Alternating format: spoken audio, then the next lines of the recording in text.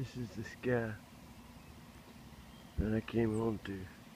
These airplanes dropping this crap right here, this should be illegal. I've had candidias, invasive candidias for two years and I cannot get rid of it. I don't know where it's coming from or how I'm getting it. But I know that these planes have been dropping this crap on my house. Black clouds. Some of them white. They're followed by a white trail.